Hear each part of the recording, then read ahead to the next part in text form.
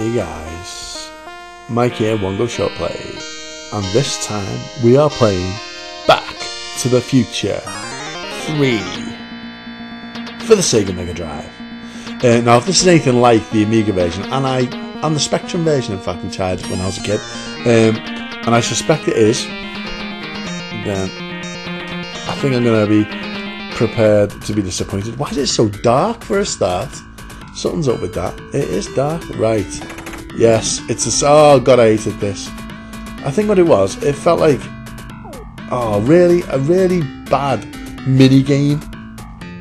Oh come on! I am doing my best, honestly. Um, really?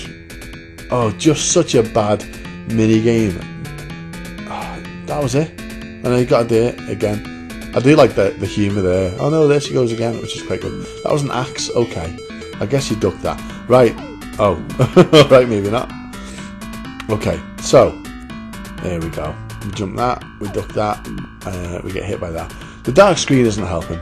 But basically, I'm the Doc, Doc Emmett Brown. I'm about to spend 10 minutes getting killed over and over again. I remember this being really hard, but not this hard. I should have got further than this back in the day. How do I get that one? I'm going to shoot that one. There's, I don't think there's any pattern to these either. I might be wrong about that. Actually, there is, I think. I think this is another one where you've got to remember the pattern, and that's fair enough. This this kind of game it works for, but is that? Oh, but it still doesn't make for a good game. I always hated this game because it just felt so insubstantial. It is a set pattern.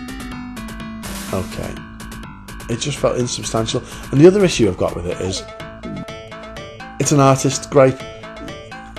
At first, at least on this go, uh, which is my first go in years, um, you can't actually tell. Oh, really? I shot you? Clearly, he needs more than one shot. Oh man, you can't actually tell which is foreground and background. Sure the Spectrum version and the Amiga versions were much easier than this. Right. Oh, you know what? I can't even see them coming. Oh, I'm getting angry. We're two and a half minutes in. We're not even a quarter of the way through. Well, we're a quarter of the way through this video, and I just want to give up. Really? It just throws you into one death after another. I remember this being better than this, and still bad, if that makes sense. Oh. Okay, so we're going to do this methodically. I'm going to die because I want to learn where things are. Okay. So that's a jump. Okay, so we're talking jump, duck, shoot, duck, jump. Let's see if that's right. Okay, so jump, duck, shoot, duck. No shit. Jump. oh, and now it gets. Oh, really? Okay. So let's. Alright, let's just get as far as we can now. Back, shoot a couple of times. Really? He ducked under me shot? Oh. What, and why are the cowboys? I remember that in the film. Cowboys being. fighting with you to get to Clara Clayton. Right, duck, shoot, uh, jump, jump, duck, duck, ah, shoot. It's jump, duck, shoot, jump, duck, shoot. Okay, and then shoot. Oh, again. I, I ducked instead of shooting. Jump, jump, and then behind, bang, bang. He's ducking. I'm out of bullets. I'm out of bullets. Know who gets me? Oh man, right in the face. Okay, again. We're getting like a little bit further, but it is pathetic the progress we are making. Oh, again, 40 quid maybe when it first came out. I don't know, that's a bit of a guess. 30, 40 quid.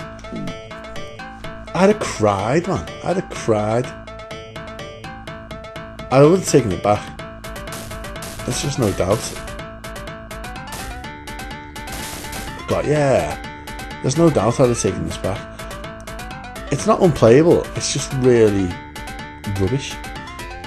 Oh no, get the good stuff, don't be dodging that. It's just a game that maybe it's not for me, but is there anyone who likes this game? When you consider that how good the Back to the Future films were, alright, the second and third weren't as good as the first, and yeah, they kind of invented a few catalysts for the develop character development of Marty McFly, like the whole "Don't call me chicken" thing, which he never even says in the first film. He never even has an issue with being a coward in the first film. It's like it's almost as though it was invented as a as a catalyst and it, you know for events to happen. And it was clearly. Anyway, um, so the, the second and third films were inferior, fair enough, but they were still good. And um, how did they manage to make such a an unholy mess of all three of the games? I mean, oh, this is tedious. There's, there's so much more they could have done with it. They could have done this scenario better, you know, just done it better.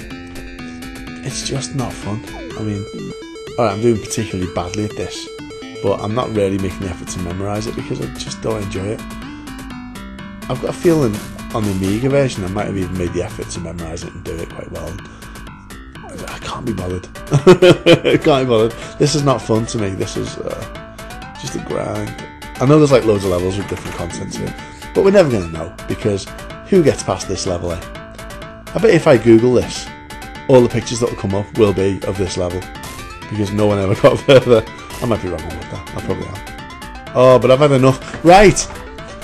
I've actually literally put down the controller because I'm done with this game. I do like the little bits of text there, ah, and the different things that you say at the end because you die so many times that um, you know it's a nice touch to have those little bits of text. Forget a duck, I'll do it. No, no, Marty, I'll try again. That's quite fun. It's like they know how infuriating this is, uh, so they made it quite fun. But the game is not fun, and I've just always hated it. Back to the Future 3, Sega Mega Drive. I am done here. Thanks for watching.